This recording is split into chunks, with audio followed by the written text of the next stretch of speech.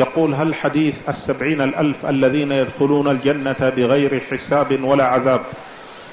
يكون كل من تحقق فيه الشرط الموجود بالحديث بحيث ترك المباح والمكروه والمحرم وذلك لتوكله على الله أم أنه خاص بالكي والرقية والتطير؟ قولك ترك المباح هذا غلط. لا يترك المسلم المباح الذي أباحه الله له إنما يترك المكروه والمحرم فقط. يترك المكروه والمحرم أما المباح فلا يتركه لأنه بحاجة إليه. نعم.